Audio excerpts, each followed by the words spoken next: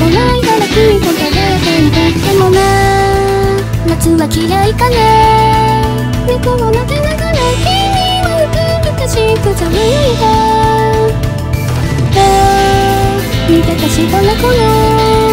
追いかけて飛び込んでしまったのは神川端っこきパート通ったトラックが君を引きずって泣き叫ぶ血しぶきの色君の香りとなった嘘じゃないぞ。って笑ってる。夏の水色かき回すようなせ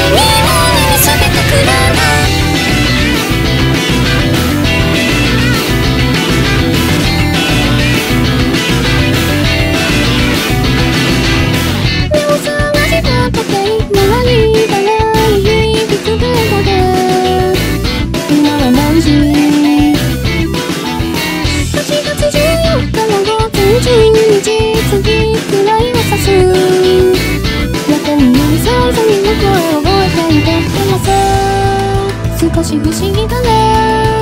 同じ公園で昨日見た夢を思い出して。もう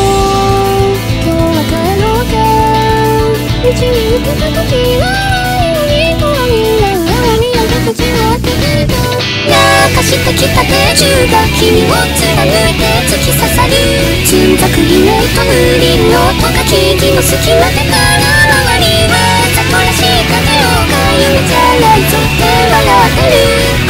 視界に君の横顔笑っているような気がした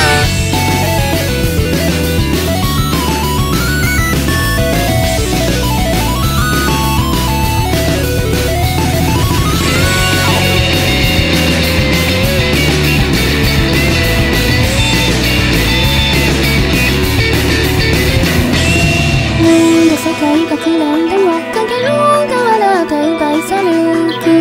かしたら10年も遠くに気がついていたのこんなよくある話なら結末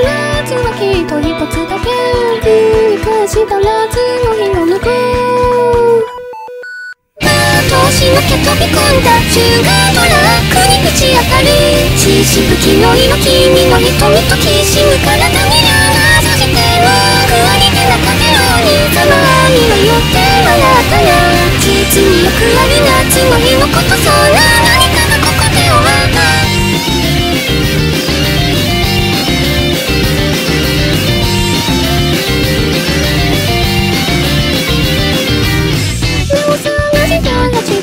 you